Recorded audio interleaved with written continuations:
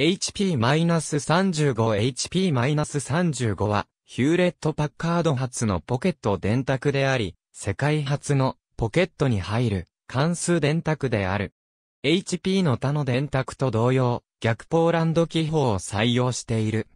発売当時の価格はアメリカで395ドルであり、1972年から1975年まで販売された。当時の市場調査では、ポケット電卓の市場は皆無だった。しかし、HP 創業者の一人、ウィリアム・ヒューレットは、ポケットサイズの HP-9100A の開発をはじめ、市場調査が間違いだったことを証明した。最初の数ヶ月間の注文は、HP の予測を超えていた。HP-35 以前には、三角関数や指数関数を計算する、携帯可能なツールとしては、計算弱しかなく、既存のポケット電卓は、四則演算しかできなかった。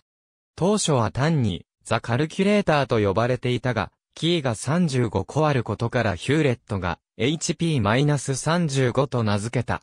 最初の1年間で10万台の売り上げを記録し、約3年半の期間で30万台を売り上げた。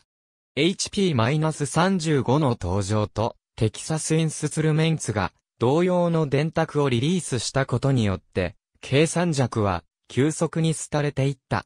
2007年7月12日、HP は HP-35 リリース35周年を記念して HP35S をリリースした。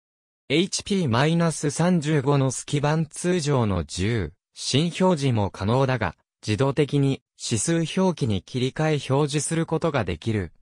15桁の LED ディスプレイは、仮数部を10桁、指数部を2桁表示し、さらに小数点と、仮数、指数それぞれの符号等を表示する。数字全体を一度に点灯させるのではなく、一度に一つのセグメントを点灯させるユニークな方式を採用している。これは HP の研究によって人間の目から見て同じ電力でより明るく感じる方式として開発されたものである。バッテリーは独自のバッテリーパックを使い、その中身は炭酸型ニッケルカドミウム蓄電池が3本入っている。すでにバッテリーパックは販売されていないため、現存する HP-35 のユーザーは AC 電源を使うか、バッテリーパックを自作して使っている。外部充電器もあり、バッテリーなしでも HP-35 本体を充電器に接続して使うこともできる。1ビットのプロセッサチップセットで56ビットの不動小数点数を処理し、14桁の BCD で数値を表現する。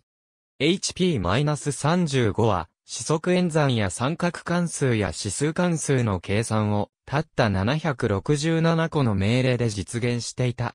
HP-35 は一連の似たような形状の電卓製品群の最初の製品となった。その後、形状の異なる電卓も登場したが、操作感は似ている。HP-25 は HP-55 のようなプログラム電卓で、磁気記録機能を持たない。